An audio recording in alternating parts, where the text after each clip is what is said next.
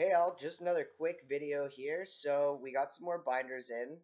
Uh, they are gently used binders. They're for giveaways. This is not the monthly contest that we normally do, so that's not what this is for. This is for gently used binders. We ask that these are used for trans men only or gender fluid people who are uncomfortable with having a chest. This is not for cosplay. These are very expensive and very hard to come by. It's been a while since our last giveaway video, so let's get this rolling. We have five. So we have one that is a small.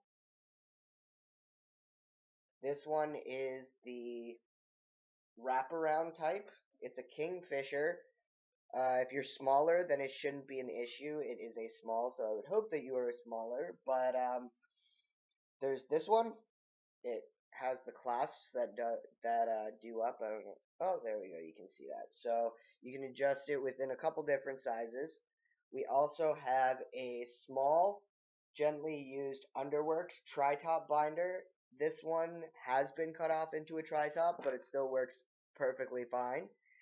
This one is a Kingfisher. This one says it's a medium, but the size comparison, it is what a small would be.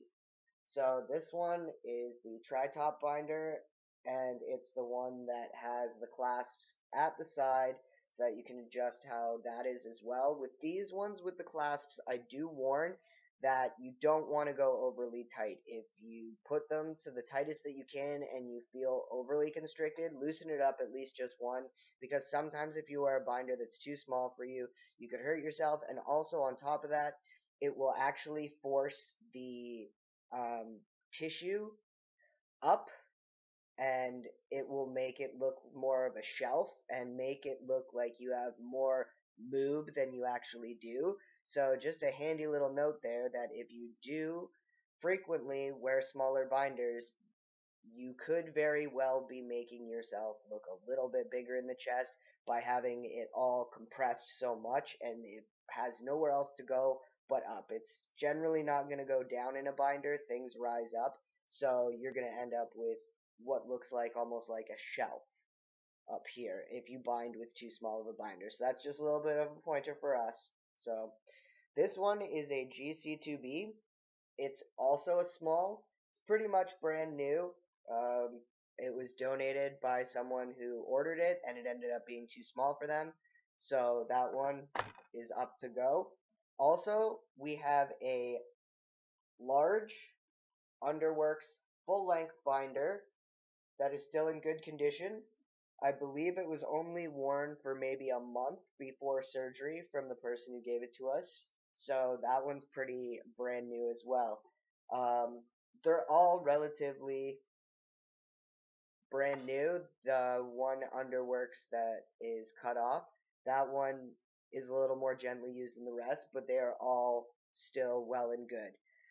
So just to recap, we have four small binders and we have one large binder. If there's anyone out there that is trans or gender queer that is uncomfortable with their chest and is in need of a binder, either you can't afford one, you don't know how to get one, um, you don't you don't know how, um, you can always email us and we can help you figure that out. If you can't afford one but you don't know how to get it, we can help you out with that. But for anyone who is in need of a binder and does not have one, please feel free to email us below. What we do ask though is because we have so many different binders coming through, we ask that you take the measurement of the largest part of your chest. So an easy way to do that is to take a piece of string or something like that and wrap it around yourself at the largest part of your chest, not wearing anything that's constricting you. Just as you are, put a string around and then compare that to a ruler. Let us know how many inches around you are. That will give us your size and allow us to look at these binders and determine exactly which one you're going to need and if you will fit into one of these so that we don't end up sending you the wrong size. I think that's it.